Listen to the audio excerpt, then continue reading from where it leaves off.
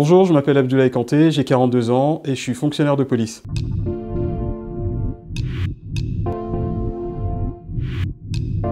Je suis né en, France et j'ai vécu 13 euh, ans au Mali. Mon papa était livreur de pizza, donc euh, pour payer ses études, euh, à la Sorbonne. Et ma maman était femme de ménage dans les deux aéroports, donc Roissy et Orly. Quand j'ai quitté le Mali, donc j'avais 15 ans, je suis arrivé en France. C'était évidemment un autre monde parce que je quittais la sphère africaine, le cocon familial. Là, c'est vrai que les codes, la manière de s'exprimer, c'était pour moi tout nouveau. Quand j'ai eu le bac baccalauréat, donc je voulais travailler de suite. Oncle à moi qui m'a dit bah, si tu veux, bah, il y a l'armée. 15 jours après, je recevais ma convocation pour la base de Ourtin. On était tous pareils, on avait un seul et même uniforme et un sens commun, c'est-à-dire euh, la France. Souvent, on me pose cette question, mais si tu dois choisir entre la France et le Mali, tu choisis quoi?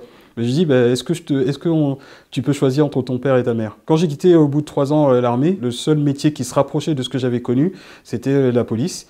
Donc j'ai choisi cela et c'est jusqu'à aujourd'hui, ça va faire 21 ans que je suis dans la police et j'en suis fier. Quand vous êtes euh, policier, et j'aime pas parler de la couleur beaucoup, vous êtes noir, vous êtes un peu, euh, on va dire, euh, entre deux feux, entre votre origine, entre votre métier. Il faut avoir aussi beaucoup de recul. C'est-à-dire que je porte un uniforme français et que quand je fais mon travail, c'est sans distinction de couleur de peau, d'origine, ou de sexe. Une fois, j'ai contrôlé euh, quelqu'un qui m'a sorti une phrase Ah, mais je ne savais pas que dans la police française, on recrutait des Noirs. Et ce qui fait mal dans notre société aujourd'hui, c'est l'essentialisation, la généralisation. C'est un peu comme dire que tous les policiers sont tous des fachos, des violents, des racistes.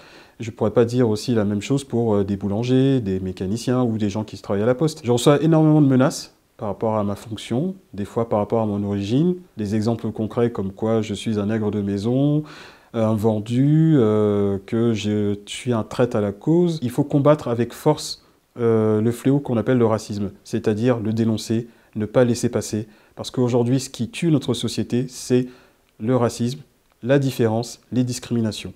Et c'est très important aussi de faire beaucoup de pédagogie. Et les jeunes aujourd'hui doivent se conscientiser et ne pas laisser passer.